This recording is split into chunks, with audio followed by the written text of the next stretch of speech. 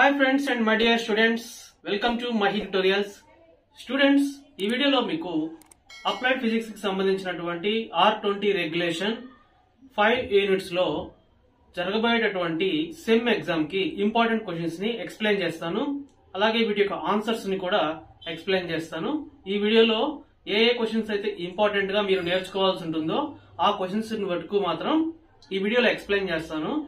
వీడియోని స్కిప్ చేయకుండా పూర్తిగా వినండి అలాగే నోట్ చేసుకోండి.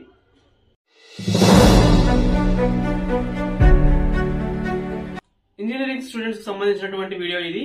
అప్లైడ్ ఫిజిక్స్కి సంబంధించిన ఇంపార్టెంట్ క్వశ్చన్స్ అయితే ఈ వీడియోలో చెప్తాను. మీకు జేఎన్టీయు అనంతపూర్ స్టూడెంట్స్ ఫాలో అయ్యేటటువంటి రెగ్యులేషన్ ట్వంటీ ఆర్ ట్వంటీకి సంబంధించిన సిలబస్. ఈ సిలబస్లో మీకు మొత్తం ఫైవ్ యూనిట్స్ ఉన్నాయి. సో ఈ ఫైవ్ యూనిట్స్కి సంబంధించినటువంటి ఇంపార్టెంట్ క్వశ్చన్స్ సెమిస్టర్ ఎగ్జామ్కి ఏ క్వశ్చన్స్ అయితే రెగ్యులర్గా అడుగుతూ ఉంటారో అలాంటి క్వశ్చన్స్ నేను ఇప్పుడు మీకు చెప్తాను. ఈ క్వశ్చన్స్ మీరు ప్రిపేర్ అయితే మీరు దాదాపు సిక్స్టీ పర్సెంట్ మార్క్స్ అయితే తెచ్చుకోవచ్చు. సో మీకు ఎగ్జామ్ వచ్చేసి సెవెంటీ మార్క్స్ కదా? సో ఈ సెవెంటీ మార్క్స్లో మీరు దాదాపు కూడా ఫార్టీ ఫైవ్ అంతవరకు కూడా తెచ్చుకోవచ్చు అనమాట ఫార్టీ ఫైవ్ ఫిఫ్టీ మార్క్స్ అయితే. ఇప్పుడు నేను చెప్పబోయేటటువంటి క్వశ్చన్స్ బేస్ చేసుకొని మీరు ఆన్సర్ కనుక చేస్తే ఖచ్చితంగా తెచ్చుకోవచ్చు. ఓకే స్టూడెంట్స్ మనం వీడియోలోకి వెళ్ళబోయే ముందు ఇంకొన్ని విషయాలు. నా యూట్యూబ్ ఛానల్లో ఇంటర్మీడియట్కి సంబంధించినటువంటి ప్రాక్టికల్ వీడియోస్ అలాగే ఇంపార్టెంట్ క్వశ్చన్స్ తెలుగులో ఎక్స్ప్లెయిన్ చేస్తున్నాయి.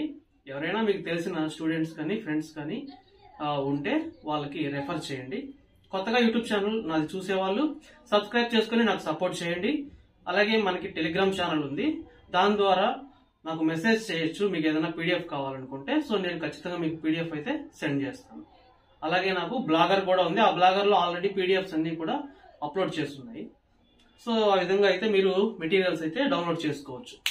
Okay let start our video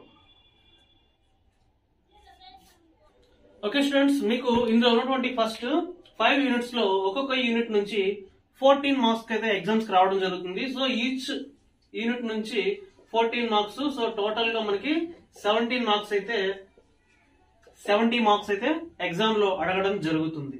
so ఇందులో మిమ్మల్ని అడిగినటువంటి pattern question question paper pattern ఎలా ఉంటుందంటే మీకు టూ మార్క్స్ క్వశ్చన్స్ టెన్ ఇస్తారు చాయిస్ ఏమి ఉండదు. సో ట్వంటీ మార్క్స్ వస్తాయి. అలాగే ఇక్కడ లాంగ్ ఆన్సర్స్ ఉన్నాయి కదా అవి ఒక్కొక్క క్వశ్చన్కి టెన్ మార్క్స్ ఉంటాయి. మీరు ఫైవ్ క్వశ్చన్స్ అయితే రాయాల్సి ఉంటుంది. So ten into five fifty. So టోటల్గా మీకు సెవెంటీ మార్క్స్ అనేవి తెచ్చుకోవచ్చు అనమాట ఇందులో మీకు టూ మార్క్స్ అయితే నేను ఆల్రెడీ లిస్ట్ అవుట్ చేసి పీడిఎఫ్ అయితే ఆల్రెడీ పెట్టున్నాను. ఇంతకు ముందు వీడియోలో కూడా చేస్తున్నాను. ఆ వీడియో లింక్ కూడా కింద డిస్క్రిప్షన్లో ఇస్తాను. ఇప్పుడు నేను చెప్పబోయే లాంగ్ ఆన్సర్స్. సరే ఈ లాంగ్ ఆన్సర్స్ ఫస్ట్ యూనిట్ సంబంధించి ఏమేమి చదవాలి? ఓకేనా? ఒక్కొక్క యూనిట్కి దాదాపు ఐదు క్వశ్చన్స్ అలా మెయిన్గా అనమాట అంటే ప్రీవియస్ పేపర్స్ని కంపేర్ చేసుకొని ప్రీవియస్లో ఏమేమి అడుగున్నారు ఏంటి అనేది అబ్జర్వ్ చేసి మీకు ఆ క్వశ్చన్స్ అనేది తయారు చేశారు. మనం ఇప్పుడు ఫస్ట్ యూనిట్లో ఇంపార్టెంట్ క్వశ్చన్స్ అయినటువంటి నాలుగు క్వశ్చన్స్ చెప్పుకుంటున్నాం. సో ఇందులో మీకు ఫస్ట్ క్వశ్చన్ వచ్చేసి discuss in the detail interference of reflected light in thin films so thin films అనేది very very important question next question explain the Newton rings experiment with neat diagram and dark and bright fringes diameters so Newton rings experiment అనేది very very important ఓకేనా? మీకు ఈ question అనేది compulsory వస్తుంది. మీకు ఇచ్చేటటువంటి choice two questions ఇస్తారు కదా అందులో న్యూటన్ రింగ్స్ సంబంధించింది ఒకటి ఖచ్చితంగా ఉంటుంది. దీంతో పాటు అటాచ్డ్గా ఇంకేదైనా ఎక్స్ట్రాగా అడుగుతాడు. అలాగే ప్రాబ్లమ్స్ కూడా అడిగేదానికి అవకాశం ఉంటుంది. ఆ ప్రాబ్లమ్స్ అనేవి నేను ఆల్రెడీ ఒక వీడియో చేశాను. ఇంపార్టెంట్ ప్రాబ్లమ్స్ అని చెప్పి. వాటిని మీరు ఫాలో అయ్యారంటే ఖచ్చితంగా ఫుల్ మార్క్స్ అయితే తెచ్చుకుంటారు. Next third question Fraunhofer diffraction అంటే single slit so Fraunhofer డైఫ్రాక్షన్లో సింగిల్ స్లిట్ని క్లియర్గా డయాగ్రామ్ వేసి ఎక్స్ప్లెయిన్ చేయాలి. Next fourth question Fraunhofer diffraction due to double slit so double slit ఉంది కదా? సో ఈ ఎక్స్పెరిమెంట్ కూడా బాగా నీట్గా నేర్చుకోవాలి. సో ఈ విధంగా ఈ నాలుగు క్వశ్చన్స్ అయితే మీరు ఫస్ట్ యూనిట్కి సంబంధించి క్లియర్గా నేర్చుకోండి. ఇంపార్టెంట్ క్వశ్చన్స్ అయితే ఖచ్చితంగా స్టూడెంట్స్కి సంబంధించి ప్రతి చాప్టర్కి ఉంటాయి. కానీ ఆ స్టూడెంట్స్ వాటిని చదివి గుర్తుపెట్టుకుని ఎగ్జామ్స్లో రాయలేరు అనమాట అదే పెద్ద ప్రాబ్లం ఇక్కడ. సో మీరు ఏం చేయాలంటే ఫస్ట్ తెలుగులో కూడా వాటిని విని ఈజీగా ఓన్గా రాయడానికి ట్రై చేయండి. అంటే డయాగ్రామ్ అనేది పర్ఫెక్ట్గా మనకి బుక్లో ఎలా ఉందో అదే వేస్తాం. ఓకేనా దాన్ని మీరు ఓన్గా చేయకూడదు. కానీ మ్యాటర్ని మాత్రం వాళ్ళు పేర అలాగే ఇవ్వచ్చు పాయింట్లు లాగా ఇవ్వచ్చు. ఏ పాయింట్ అనేది ఎక్కువ పాయింట్స్ని మీరు గుర్తుపెట్టుకుని ట్రై చేసి ఆ పాయింట్స్ని మెయిన్ అండర్లైన్ చేస్తూ ఆన్సర్లో కనుక రాశారంటే మీకు ఫుల్ మార్క్స్ వేయడానికి అవకాశం ఉంటుంది. సరే నెక్స్ట్ సెకండ్ యూనిట్లో పోదాం. లేజర్స్ అండ్ ఫైబర్ ఆప్టిక్స్లో మీకు ఇంపార్టెంట్ క్వశ్చన్స్ ఫైవ్ ఉన్నాయి. సో ఇంకా మనం గ్రేడ్ చేసుకుంటే ఎక్కువగానే వస్తాయి. సో నేను మాక్సిమం ఇవ్వాల్సినటువంటి క్వశ్చన్స్ అయితే ఇచ్చాను అనమాట సో చూడండి ఇక్కడ ఫస్ట్ క్వశ్చన్ వచ్చేసి మీకు లేజర్స్ టాపిక్లో ఉండేటటువంటి మెయిన్ ఆప్టికల్ పంపింగ్ అలాగే పాపులేషన్ ఇన్వర్షన్ అలాగే మెటాస్టేబుల్ మెటాస్టేబుల్ స్టేట్ అంటాం కదా సో ఇవి వీటి యొక్క టర్మ్స్ గురించి క్లియర్గా తెలియ చెప్పాలన్నమాట. సో ఇలా క్లియర్గా చెప్పినందుకు వాళ్ళు మీకు ఈ క్వశ్చన్తో పాటు ఇంకో క్వశ్చన్ అటాచ్ చేసి టెన్ మార్క్స్ అనేది ఇస్తారు. సో క్వశ్చన్ అయితే ఇది కంపల్సరీ నేర్చుకోండి. Population inversion very very important population inversion optical pumping metastable ఈ మూడింటి గురించి క్లియర్గా నేర్చుకోవాలి. Next second question describe the working process and construction of helium neon gas laser మనకి లేజర్ లెసన్లో గ్యాస్ లేజర్ గురించి అలాగే solid laser ND YAG laser గురించే టాపిక్స్ అనేవి వచ్చేది. సో అందులో మీరు హీలియం నియాన్ యొక్క కన్స్ట్రక్షన్ వర్కింగ్ ప్రాసెస్ క్లియర్గా నేర్చుకోవాలి. Next third question. Explain the ND YAG laser. Same అలాగే. ఎండియా కూడా కన్స్ట్రక్షన్ వర్కింగ్ ప్రాసెస్ నేర్చుకోవాలి. ఈ మూడు క్వశ్చన్స్. నెక్స్ట్ ఫైబర్స్లో నుంచి acceptance angle numerical aperture. So fiber ఆప్టిక్స్లో acceptance angle అంటే ఏంటి? ఒక ఈక్వేషన్ పార్ట్ ఉంది కదా సో దాన్ని నీట్గా నేర్చుకోండి. అలాగే న్యూమరికల్ అపర్చర్ కూడా నేర్చుకోండి. Next fifth question explain how optical fibers are classified optical ఫైబర్స్ని ఎన్ని రకాలుగా క్లాసిఫైడ్ చేశారు? Step index fiber graded index fiber ఇవి ఉన్నాయి కదా సో మల్టీ మోడ్ వీటి గురించి మీరు రాయాలన్నమాట.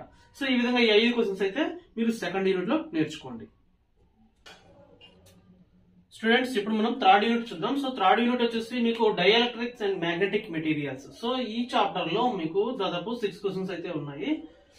మనకి డైఎలక్ట్రిక్స్ వచ్చేసి అలాగే మ్యాగ్నెటిక్ మెటీరియల్స్ రెండింటిలో కూడా ఇంపార్టెంట్ క్వశ్చన్స్ ఉన్నాయి కాబట్టి మొత్తం సిక్స్ క్వశ్చన్స్ అయితే నేను ఇంపార్టెంట్ పాయింట్అవుట్ చేశాను. సో ఇందులో మీకు ఫస్ట్ క్వశ్చన్ వచ్చేసి explain the terms of polarization electric polarization అంటే ఏంటి అనేది చెప్పాలి. అలాగే పోలరైజేషన్ వెక్టార్ అంటే ఏంటి? పోలరైజేషన్ వెక్టార్ అంటే ఏంటి? నెక్స్ట్ ఎలక్ట్రిక్ డిస్ప్లేస్మెంట్ ఓకేనా? Electric displacement what is electric displacement అలాగే పోలరైజబిలిటీ ఈ టర్మ్స్ అన్ని కూడా చాలా చాలా ఇంపార్టెంట్ మీకు ఈ టర్మ్స్ అన్ని కూడా కలిపి ఒక క్వశ్చన్ లాగా ఇస్తారు. అలాగే దీనికి అటాచ్డ్ క్వశ్చన్స్ కూడా ఇస్తూ ఉంటారు. నెక్స్ట్ క్వశ్చన్ వచ్చేసి explain types of polarization so పోలరైజేషన్లో మనకి త్రీ టైప్స్ మెయిన్గా ఉంటాయి. అయానిక్ పోలరైజేషన్ ఎలక్ట్రిక్ పోలరైజేషన్ అలాగే ఓరియంటేషన్ ఆఫ్ పోలరైజేషన్ ఈ మూడింటి గురించి కూడా ఎక్స్ప్లెయిన్ చేయాల్సి ఉంటుంది. నెక్స్ట్ క్వశ్చన్ థర్డ్ క్వశ్చన్ ఇది వెరీ వెరీ వెరీ ఇంపార్టెంట్ ఇది చాలా చాలా ఇంపార్టెంట్ అనమాట లోకల్ ఫీల్డ్ అని అడుగుతారు. ఎక్స్ప్లెయిన్ ద లోకల్ ఫీల్డ్ అని అడుగుతారు. లేదా ఇంటర్నల్ ఫీల్డ్ అని అడుగుతారు. అలాగే లొరాంజ్ మెథడ్ అని కూడా అడుగుతారు అనమాట సో ఈ మూడిటికి కూడా ఒకటే ఆన్సర్ మూడిటి యొక్క అర్థం కూడా ఒక్కటే డైఎలక్ట్రిక్స్లో ఉండేటువంటి లోకల్ ఫీల్డ్ గురించి ఎక్స్ప్లెయిన్ చేయాల్సి ఉంటుంది.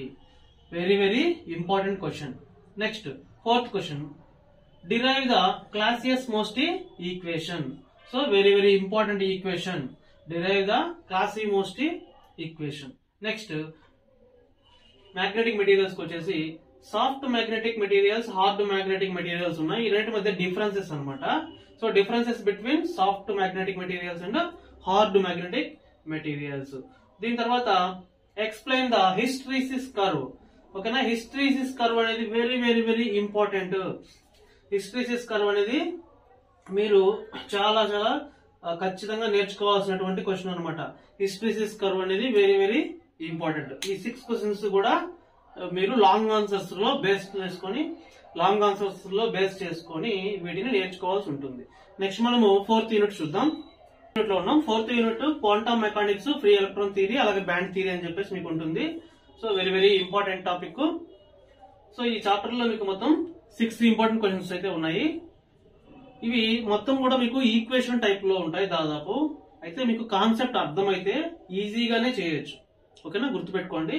నెక్స్ట్ ఇందులో ఫస్ట్ ఇంపార్టెంట్ క్వశ్చన్ వచ్చేసి మీకు salient features of quantum free electron theory mention its drawbacks salient features of quantum mechanics యొక్క ఫీచర్స్ గురించి రాయాలి. అలాగే వీటి యొక్క డ్రాబ్యాక్స్ కూడా ఏమున్నాయో అవన్నీ కూడా రాయాలన్నమాట.